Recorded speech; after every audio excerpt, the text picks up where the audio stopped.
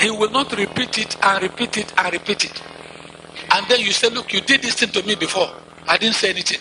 You have done it again, oh. You have done it again, oh. In fact, if you do it again, how will he not do it again? You did not rebuke him. You did not correct him. He didn't know he was wrong. See, the Bible is clear. How can a man keep his way clean? The Bible says by doing what? Keep taking heed to all the word of God. So your brother offends you. You didn't say anything. You just let it go. But you have it in your heart. Then he does it the second time. Then you warn him. You did it before. And you're doing it again. In fact, if you do it again, that is three times he's going to do it before you do anything. But if you rebuked him the first time, he will know, hey, he doesn't like this thing I did.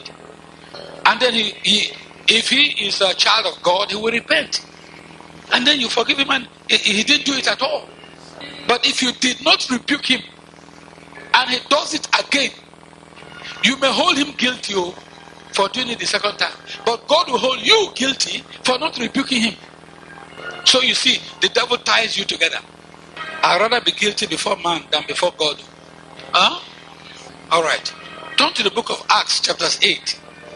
The book of Acts, chapters 8. We want to read verse 22.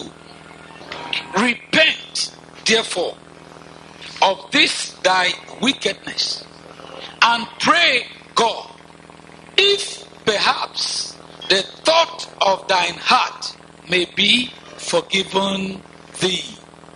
Now, listen, this one is a very dangerous one. Please listen. There is a thought in your heart. You have not done anybody bad, but there's a plan you have in your heart. And this plan is an evil plan, it's a bad plan. It may be a good plan, but there is a thought in your heart.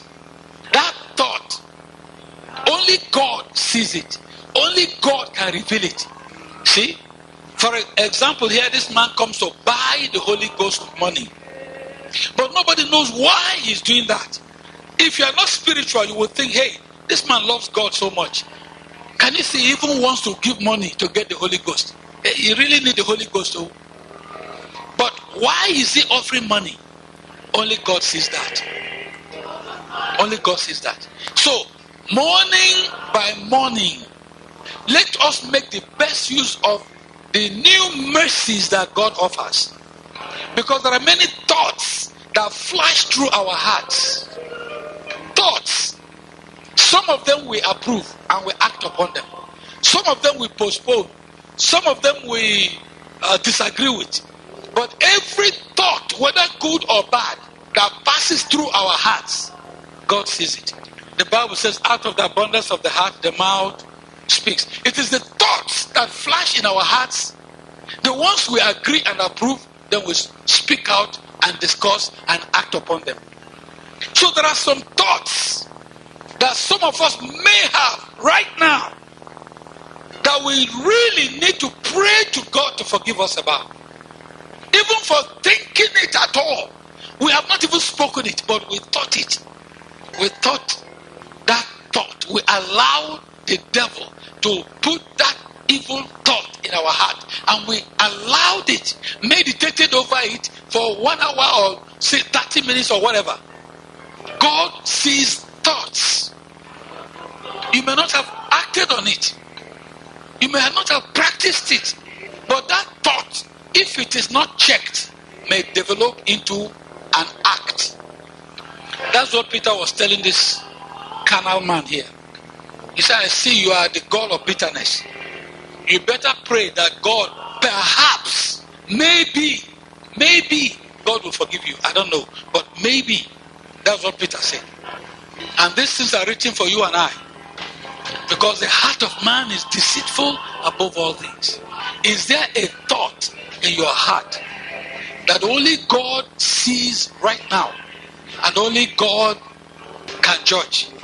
It's left for you to make it right or let it stay there until it is judged.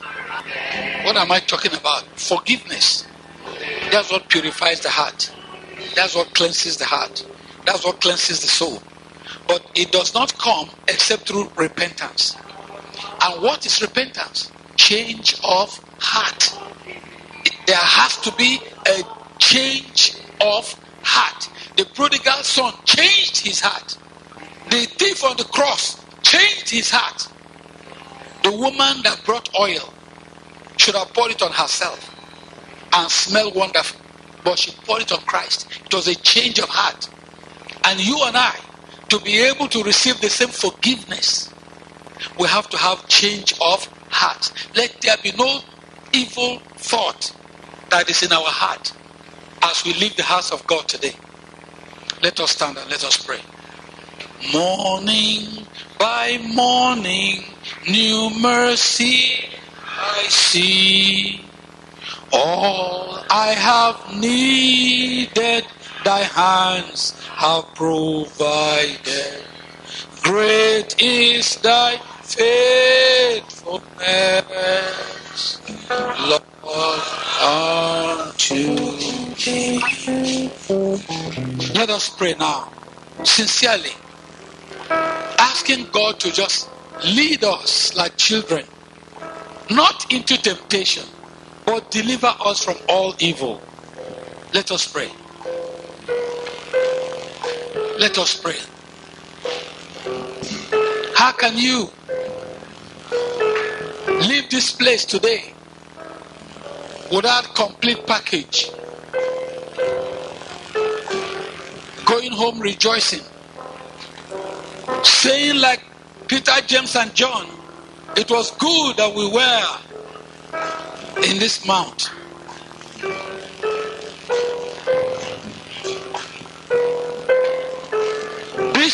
Strong and take courage.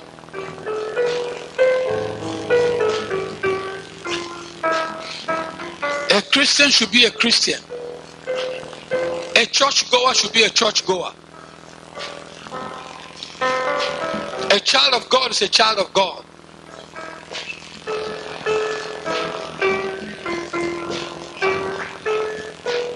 Sister, don't just close your mouth and let your heart be wandering from a jugular to somewhere else. Open your mouth and pray so that you can control your thoughts.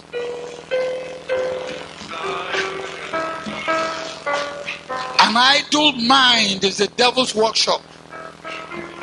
You just stand there like a pillar and your mind is wandering up and down. That is not prayer.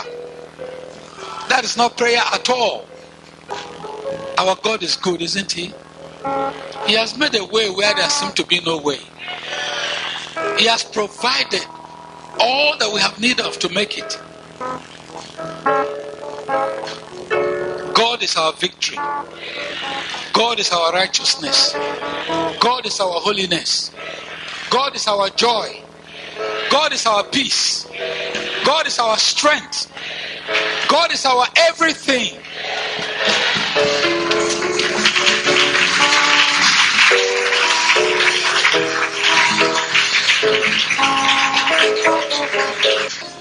You, Lord. Thank you, Lord. Thank you, Lord. Thank you, Jesus, for you surely be strong for us today. And tomorrow, and tomorrow, and tomorrow, and from everlasting to everlasting, you will be strong for us. Thank you, Father. In Jesus Christ's name we pray. God bless you. God bless you. God bless you. you may be seated. Our God is good. God will go before us. And his life will show us the way. Amen. Be strong. Take courage. Don't be afraid. That one who lives within you, he'll be strong for you. He knows whatever you're going to face. He knows what is coming towards you.